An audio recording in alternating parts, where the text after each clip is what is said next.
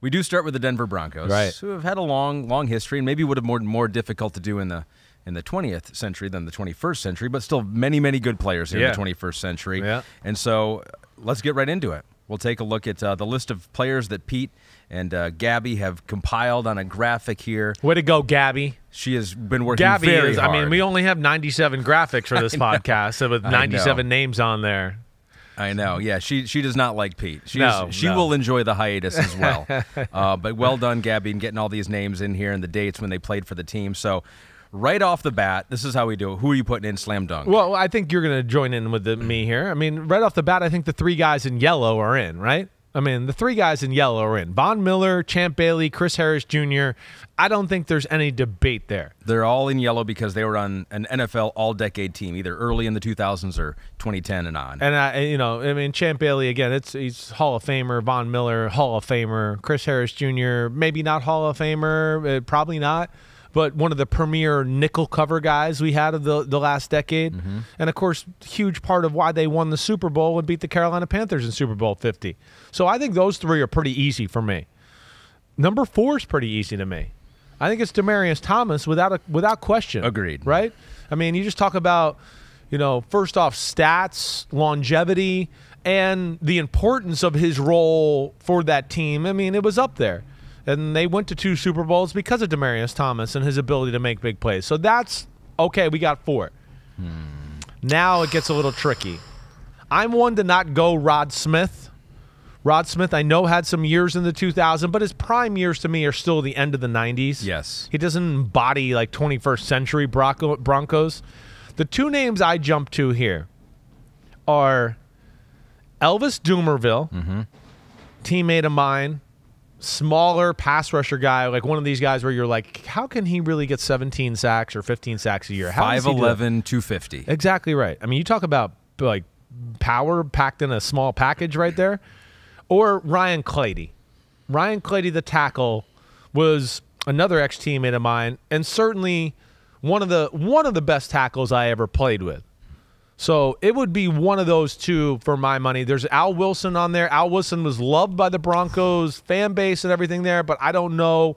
I don't think his quality of play was up there with Dumervil or Clady. Aqib Talib. Aqib Talib is interesting, right? Because it was only a four year stint there, Yeah. but it was like shut down island corner stints, right? Where you were like, well, no, Aqib Talib is was one of the best corners in football. You know, but the the problem is is he was a Buccaneer for a little while, a Patriot for a little while, a Ram for a little while. Yeah. I tend to want to go Elvis Dumervil. So I do too. I think Elvis Dumervil is definitely in. So he was a five-time Pro Bowler, two-time All-Pro. I think he's in. I think so. But I know. uh, you can also make a case for Ryan Clady, yeah. who was a two-time All-Pro himself. Right. Yeah, he's a franchise left tackle. I mean, that that's where it's tough, and you know that's where I feel like the O linemen kind of get screwed in these drills sometimes because we just when it's a tie we go, let's go with the one with the sexier stats, right? Now, one of Pete says one of Dumervil's All Pros was with the Ravens. Yeah, it was. Uh, Yeah, Two of his Pro Bowls too. right, right. So that that's where it, it's close. And then you know Ryan Clady, he was Denver, right, and then went to the Jets for a few years For at the end of his just career. one year just, just one. like, okay, I thought maybe it was two. You know what? You were changing your mind. You want to go back to Ryan?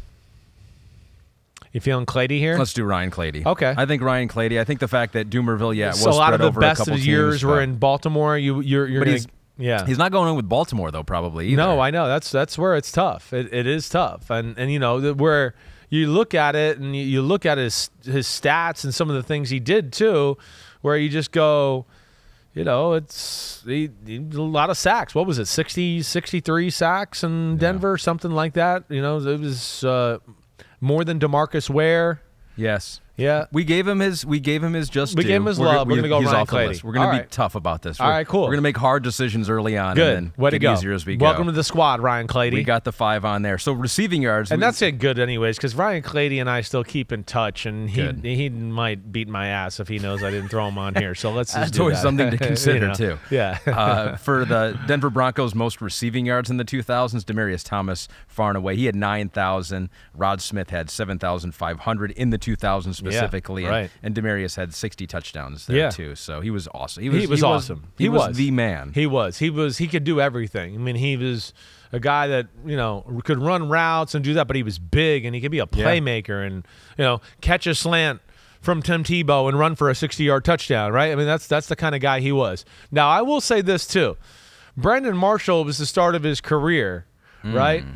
But like for the amount of time he was there, whew, he was special during that period. I mean, he really was. He was, as we've talked about and waxed poetically about him before. I mean, he was the first of his kind in the NFL as far as that huge receiver where you were like, wait, he can run routes like this at that size and make people miss in space at that size and all that. Um, it, it it packed a lot of a, a, a lot of punch there for Brandon Marshall. It just wasn't a whole lot of years there, and not necessarily. What stinks about receiver too is your team and your quarterback and your offense. Of course, are it, it's that's all very you know influential influential in what you do. but Yep. he was stuck on some some not so good teams too. So hard choices. The Denver Broncos. We got the five there. Boom. With Von Miller, Champ Bailey, Chris Harris Jr., Demaryius Thomas, and Ryan Clady. Yo, yo, yo, thanks for watching, homies. It's the off season, but you know there's no off season for us here at Unbutton. Me, Ahmed Fareed. we're going to hit all the stories. So hit subscribe for us, okay? We got a ton coming up. My draft prospect rankings, my Simms top 40 quarterback countdown, and videos of me and NFL QBs playing catch and talking about their development and mechanics. Again, thanks for watching. Remember to subscribe. Peace out, homies. See you soon.